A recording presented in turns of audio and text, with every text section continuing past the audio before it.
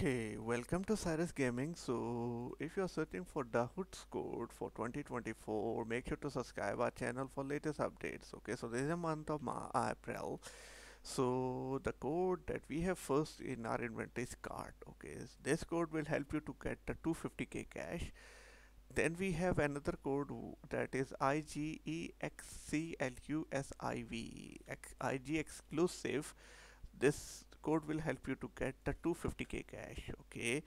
IG exclusive is another code the third code for 100k cash is trade me 5 okay? This is for 100k cash so this is trade T-R-A-D-E-M-E-5 okay? This is the third code that you have to redeem these are the three codes that you have to redeem on Da Hood code for April 2024 make sure to subscribe our channel for latest update.